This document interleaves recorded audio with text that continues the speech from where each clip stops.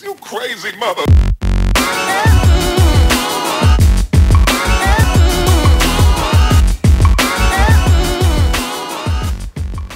So having two cameras gives you two advantages. The first one is optical zoom and the second one is known as the bokeh effect. Let's start with one, optical zoom.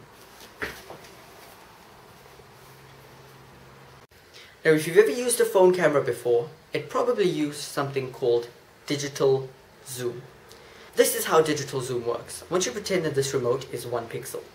Right now, I can fit one, two, three, four pixels on this entire screen.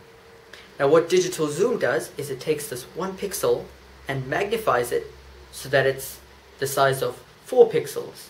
So now you'll find that the remote does look bigger, but I can only fit one pixel on this massive screen. And what that means is that you can't fit as many pixels on your screen, so the picture looks blurry. And that's why you'll find that when you take a phone camera and you try zooming in, you'll notice that it gets blurry really quickly. But at the beginning of this video, I said that the iPhone 7 Plus doesn't have digital zoom. It has optical zoom. Now to explain that, I'm to need a diagram. So let's go.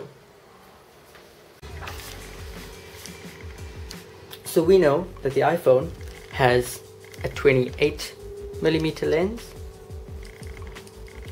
and it has a 56 millimeter lens. Now 28 is a pretty small number which means that it has a wider range of view, right?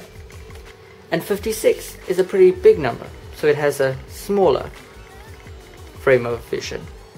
Now, since 28 is such a big number and it has a wide range of vision, if this was a block, you'd have all this background information and you'd have a block right in the center of it.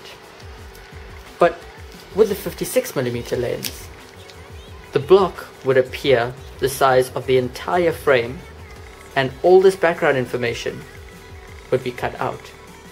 And since both cameras, the 28 and the 56mm lens, have a 12 megapixel camera, it means that this shot is just as clear as this shot. So that way, the block will appear bigger, but it will have the same number of pixels, 12 megapixels to be precise, and that way, no picture quality is lost. And that is why optical zoom is 10 times better than digital zoom. Now let's go into advantage number two, the bokeh effect. So if you don't know what the bokeh effect is, it's basically where the foreground is really clear and the background is kind of blurry. Here are a few examples of the bokeh effect.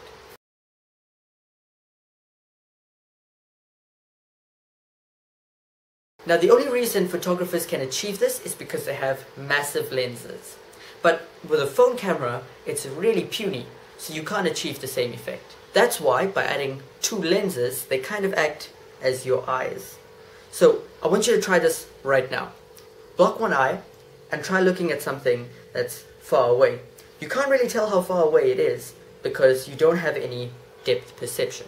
And as soon as you open that second eye, you can actually see how far away something is. So these two lenses kind of act as your eyes because they can tell how far away something is. They can tell that you are in the foreground and that they must make you clear and that the background is really far away and that they must make that blurry.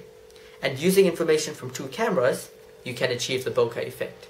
Now the important thing to note here is that the bokeh effect requires software and hardware.